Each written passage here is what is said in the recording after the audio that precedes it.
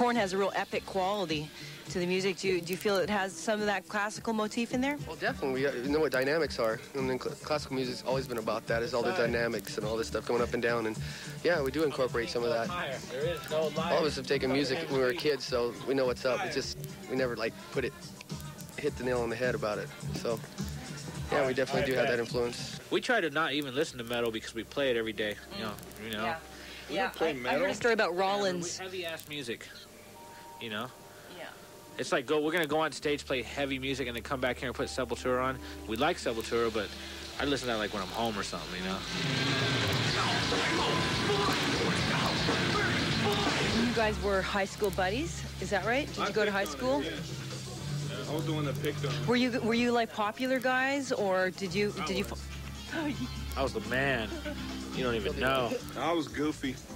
You were the goofy one. No, I was I wasn't really goofy, but I was like kind of goofy. Uh, He was goofy. I I, was- went to school with him. Is it weird to have like all these ador? Okay, then you were the guy picked on. Is it weird to have like an adoring crowd, like crazy for you now? It's yeah, it is. It's weird. It's something I always dreamed about, and now it's like I'm living my revenge because I never got any attention back when I was a little kid. So Yeah. Are you ever going to go to your high school reunion? I can't wait. I'm gonna come in in a helicopter.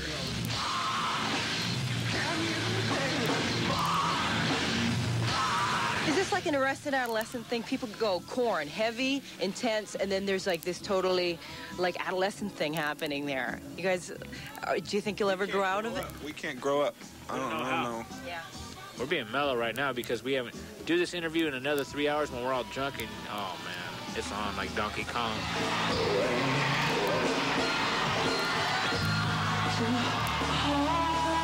And you're a dad now, right? Um, does that put a perspective on uh, your life that wasn't there before having children? Once you have a kid, you totally go back and you understand why your parents did this and that, and it puts it in perspective. Do you ever worry about repeating the same mistakes, and how are you going to avoid that? There's no way around it. I mean, you can repeat. I can try, always try, but in that, one of the things I was always mad at my dad about is because he was always gone on the road, and what am I doing right now? So there, there's other there's things you can't you can't help but do. So I guess I'll get through it. It'll be better for him.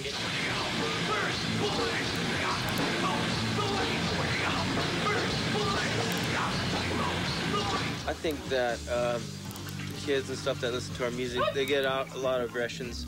And uh, I think like bad stuff happens to everybody, you know, when they're growing up. They get teased and whatever. And I think a lot of them like to come to the shows and listen to the music because um, what Jonathan's expressing through his lyrics. Sorry. And um, yep, that's it. We canceled the show because of these cysts right here. See that? Those damn cysts. Because I because we got to play hard every night. Did you have to get those operated on? Like, how did you get removed? Shots, painkillers, all kinds of stuff. Oh yeah, and both of them. I had to. So, anyways, all, all the fans, the Canadian fans, were really upset with us because of the show canceling, and uh, we just want to say it's all this. but we'll be back. We're gonna go home and do another record, and you guys will see us probably. Uh, You can go to Betty Ford, clear up his coke problem, and we'll be fine. You guys are walking advertisements. All right. Thank you.